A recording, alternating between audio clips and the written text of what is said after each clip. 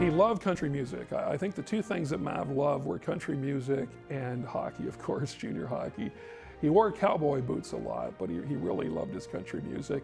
I remember when he was coaching in Belleville, he hired Kevin Abrams, who was a successful Kingston guy who had coached the Voyageurs. He's now the commissioner of the Central Junior Hockey League.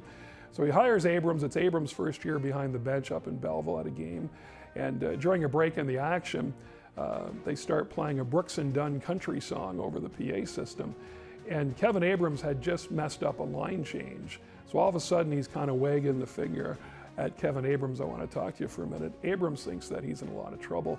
He walks up to Mavety, and Mavety says, Jesus, I love that song. Talking about the Brooks and Dunn song. So I always got a big kick out of that. Also, when Mav was in Kingston, there was a country bar here in town, which was out Division Street. It was called The Rodeo, which was owned by a guy by the name of Johnny Patrick. And I spent quite a few nights there with Mav. He loved live country music. And I'd meet him after I got off the air on TV, and we'd go have a few beers and, and sometimes stay late into the night.